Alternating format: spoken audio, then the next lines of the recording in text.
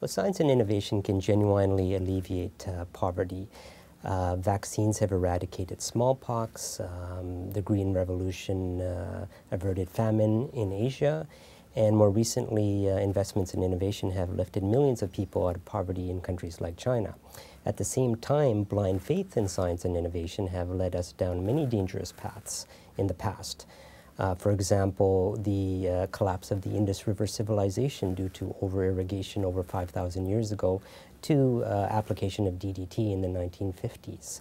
And most recently, um, technological forces, of course, have uh, left, left us terribly vulnerable to climate change and food, water, and energy, food, water, and energy shortages.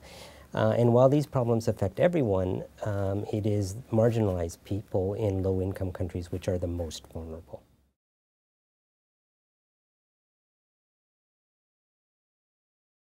Well, I don't want to diminish the severity of these challenges or suggest that science alone can solve these problems without important improvements in education and governance.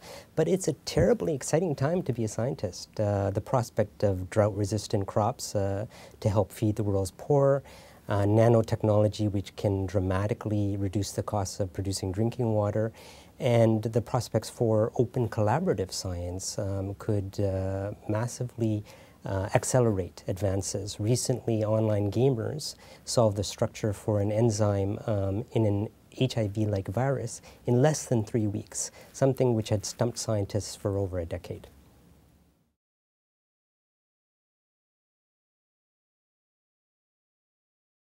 I would suggest three principles. Uh, first, um, to help build local scientific capacity.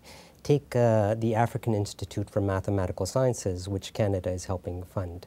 Daphne Singo, uh, the daughter of an impoverished uh, domestic worker in South Africa, has now completed her doctorate in quantum uh, physics and wants to help solve South Africa's energy crisis.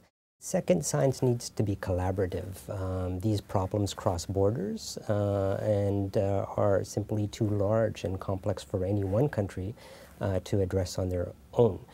So, for example, uh, Jianhong Wu, who's an internationally renowned mathematician at York University, is working with Yiming Shao, the chief scientist for the Center for Disease Control in Beijing, um, to uh, control the spread of diseases like HIV and avian influenza.